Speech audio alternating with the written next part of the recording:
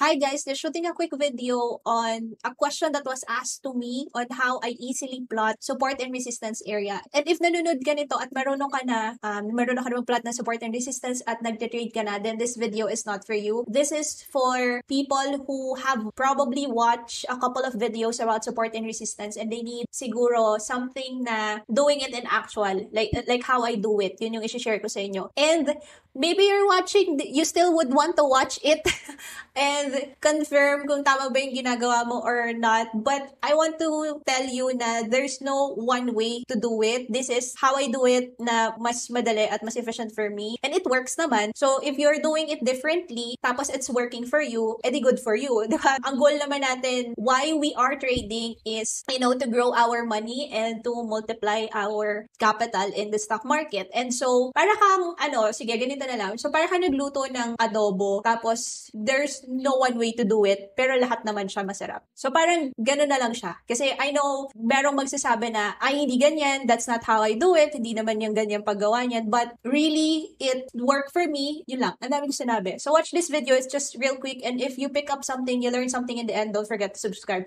So, let's freaking go! How can I, uh, sige, here's the question. How can I easily plot support and resistance? Is there any technique? Kuha tayo ng stock na at ayun, may plot na. How can I easily plot support and resistance? Number one, you can zoom out. Ayan, i-zoom out mo ng malala. Kailangan mo makuha yung overall trend.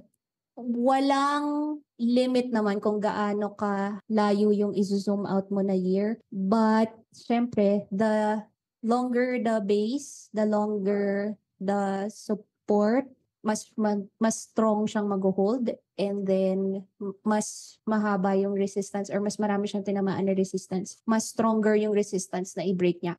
So, eto, albawa yan, i-zoom out mo, mapaplat mo na siyang ganyan kasi nagta-touch siya dito, nagta-touch siya dyan, nagta-touch siya dito. Pag sinum out ko pa, zoom out pa natin, kita mo dito, nagta-touch din siya. Yan. Tapos, connect the dots ka na lang na yan, puguhitan sila. So, hindi naman siya kailangan accurate. Pero, within this area, this area, this area, di ba? One, two, three, four, di ba? More than three, nagta-touch siya.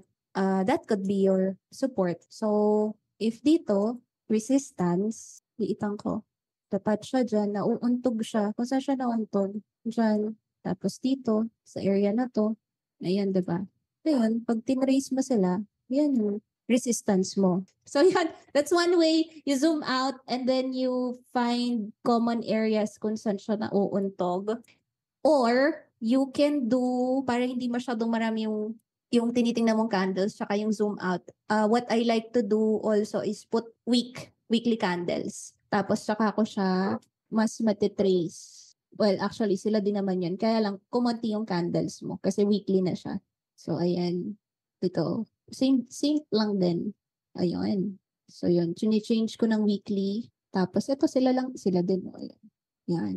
So, yan. Ang pinaka, how, how to easily plot support and resistance. That's the technique. Change the time frame to weekly and then find common areas. Ayan, tapos connect the dots.